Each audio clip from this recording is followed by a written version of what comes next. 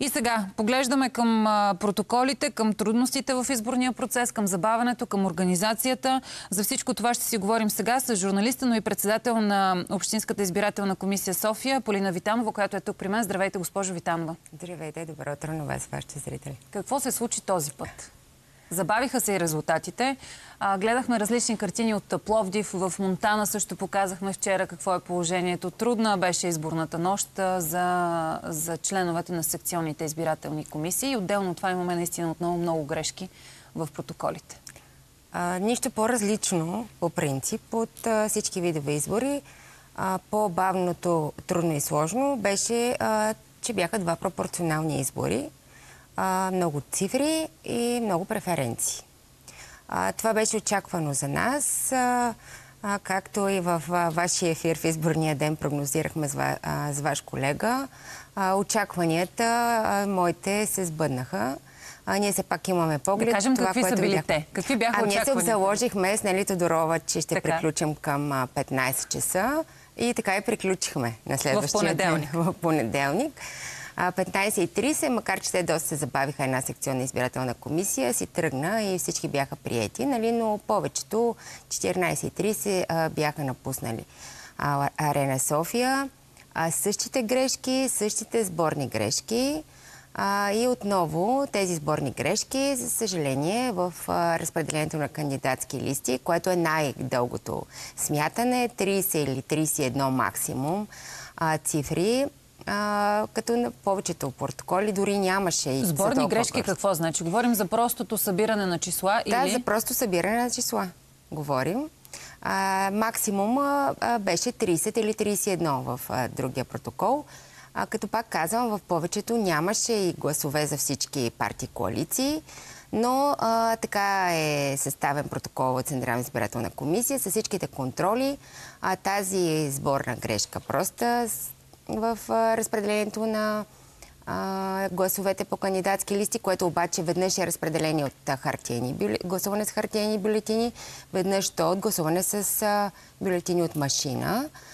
Реално тези две сборни грешки водят след себе си други, в другите числа, като броя на действителните гласове, не действителните не подкрепям никой. Те, разбира се, от своя страна този сбор Оттам променя и в избирателните списъци, и подписите, една... неизползваните и от тук насетне вече Добре. всичко е грешно. От вчера сме започнали да говорим с различни изборни експерти за това може ли да се облегчи протокола от Централната избирателна комисия. А, мнението в повечето случаи е, че може и че голяма част от протокола се осложнява от методическите указания, които са внедрени в този протокол, които обаче една голяма част от членовете на секционните избирателни комисии не винаги са прочели предварително и ги четат в самия протокол. Какво е вашето мнение? Може ли да се упрости този протокол? Да, може да се упрости и то много може да се упрости. А, законодателят е предвидил какво трябва да се вписва в протокола. Протокола обаче се вписват, освен нещата, които са разписани, брой а, гласували, а, действителни и недействителни гласове. А, в протокола а, първо се, впис, се вписват данни от избирателния списък, част първа и част втора.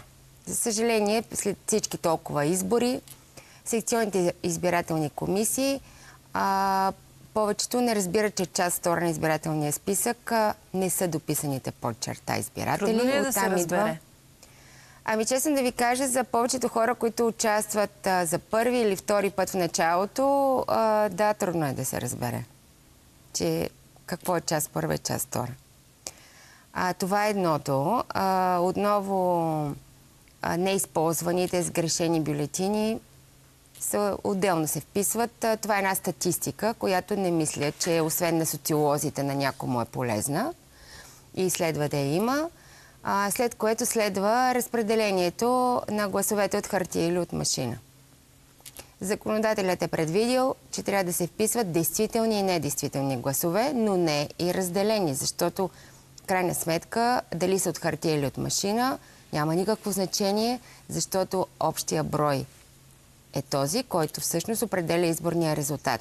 Да, разбира се, те сега не смятат, поне не смятат, защото това беше на предходни избори, те, освен че ги вписваха отделно, след това ги смятаха гласовете от хартия и машина, което допълнително водеше до грешки, но видяхме обаче, че при пропорционален избор, дори че не ги смятат, това пак води до още че се усмихвам, грешки. но понеже с а, професор Мишо Константинов, който между другото днес ще ни гостува малко по-късно, на предишните избори, когато хората смятаха, той каза, абе разберете, хората не могат да смятат. това трябва да се махне. И затова се усмихвам, защото той категорично беше казан, не могат да смятат хората. Не дейте да ги карате да смятат. Не е необходимо да смятат, да поне това е отпаднало, но грешки остават. А, не, не, Не е отпадна. Не казвате, че не се смята. Отпадна само да смятат общия сброй между хартия и машина, което е, го това смята да, изчислителния предвид, да, да. Е, да, обаче сега пак смятат. Защото те пак смятат а, а, общия брой на разпределението по кандидатски листи. Всяко, всеки сбор, всяко смятане, повече от три числа е грешка. Добре. А, сега, промяната в протоколите от кого зависи? От Централната избирателна комисия само единствено или е повод за някаква по-широка дискусия? В крайна Не. сметка, що може, би следвало да се породи такава дискусия. А, мисля, че зависи изцяло от Централна избирателна комисия. Воля има ли там? Ще се прояви ли такава? Ами, не Какво ви знам. е усещането? Може би, не знам. А, може би, а, не знам дали част от членовете на Централна избирателна комисия са били членове на секционна избирателна комисия. Може би това е проблема в повечето Да. случаи, А, че защото- трябва да са били, за да видят а, какво се случва там. А, да, аз а, лично съм била преди това член на секционна избирателна комисия също, но и те нямат този поглед, а, който ние имаме, защото реално, а, ако може би те, ако дойдат и станат членове на Общинска или избирателна, районна избирателна комисия за по-голямата част, макар че има и такива при тях, а, и ще, Ще видят по-нагледно. сметка, Не, те мисля, че си дават сметка, нали, но едно е да го гледаш отстрани, друго е да си в действителност и да не спиш по 28-30 часа. За това задавам този въпрос. Ако има начин как да се облегчи и улесни процеса, защо не се направи до сега? А пак сме в подобна сходна ситуация от преди от предишните избори. Даже сега е по-зле от, от гледна точка на забавянето и на резултатите. На миналите избори значително по-бързо. Имам предвид парламентарни. Може би тук втория вод също дава своята тежест Да, за голяма, голяма да. тежест даде втория вод, също така и двата избирателни списъка. Това, честно казано, не е нищо сложно, но ги обърка. За първи път работят с, два избирателни списъка. Не можаха да се организират Да. и добре работата някои секционни избирателни комисии. Ще видим и при проверката сега на... Чакаме анализ, освен на, на изборния ден в смисъла на тези грешки в протоколите, но и по отношение на проблемите с машинното гласуване. Проблемите, които в процентно съотношение са много-много нисък процент, около 145 машини са дали проблеми, но въпреки всичко е имало една доста притеснителна, тревожна ситуация, в която един човек гласува за двата вота, но излиза разписка само за един. Оттам ЦИК взима решението, дава указания и това е според мен лично резонно, без да ангажирам никого с моето мнение. Но това допълнително затрудни ли а, членовете на секционните избирателни комисии според вас, защото те е трябвало да дадат а, заменяща бюлетина, за да гласуват втори път за вота, който не са получили разписка. А, Това се случи на предходните местни избори. Имахме абсолютно същия проблем и то масово беше проблем. Сега не е чак толкова. Ами, сме да твърдя, че при нас, специално в 23-ти изборен район, също беше Така масово. ли? Да. А, масово а, машините... А, те ще направят анализ. Ние сме предали Чакаме този анализ и да видим откъде идва проблема, хартия ли е или нещо друго. Да, ако всички, разбира се, секционни избирателни комисии са, са ставили, но имахме много такива обаждания. А, бюлетините излизаха, те бяха или празни, или отрязъка на бюлетина, което се случи, случи на местните избори. А, там а, бяха, тъй като ние, а, тези протоколи останаха при нас в Общинска избирателна комисия и дори ние сме ги предали, те Да. по делото в съда, така че имам там поглед. Там бяха от а, 1600 и малко над 1600 секции, над 320 секции бяха с такива проблеми.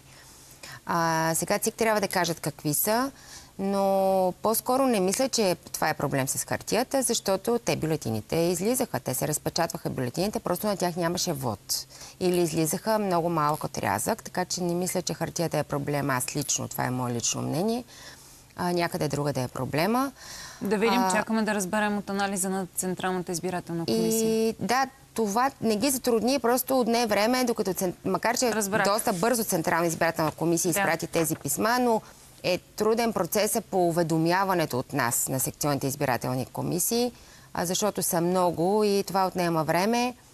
А, така че справиха се. Ще продължим с равносметката по отношение на изборния ден, но веднага след като получим и становището, анализите на Централната избирателна комисия, тогава ще е интересно отново да се срещнем с вас и да видим дали има пресечна точка в позициите ви от гледна на точка, прощавайте за тавтологията, на, на това къде са били проблемите, дали има единомислие, дали гледате и сте се фокусирали в една посока, защото ми се струва, че всички страни, които организират изборите, би следвало м, да установяват къде е проблема заедно и да, да го решават заедно, Да. за да се изчистват проблемите. Благодаря много за това гостуване. Полина Витанова, която е председател на Общинската избирателна комисия София. Реклама сега, уважаеми зрители, и продължаваме напред с останалите теми.